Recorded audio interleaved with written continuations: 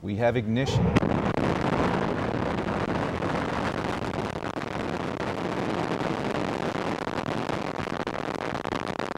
And we have liftoff of an ILS Proton from the Baikonur Cosmodrome in Kazakhstan with the Inmarsat 5 F2 satellite on board. About 10 seconds after liftoff, the vehicle does do a roll maneuver, which aligns the launch vehicle pitch axis with the northeasterly launch azimuth. Now, soon, the vehicle will soon experience maximum dynamic pressure, or max Q, which is the maximum aerodynamic stresses on the vehicle in atmospheric flight.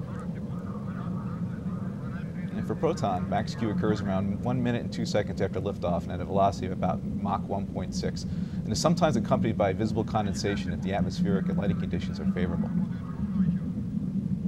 And here you can see it occurring now. We're just a little, on, little over uh, one minute from launch, just went through max Q.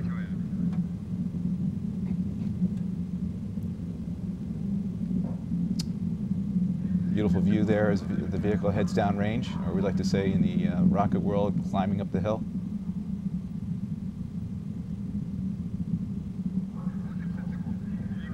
And everything seems to be proceeding nominally as the vehicle ascends over the Cosmodrome in a northeasterly direction and with a flight launch azimuth of approximately 61.3 degrees.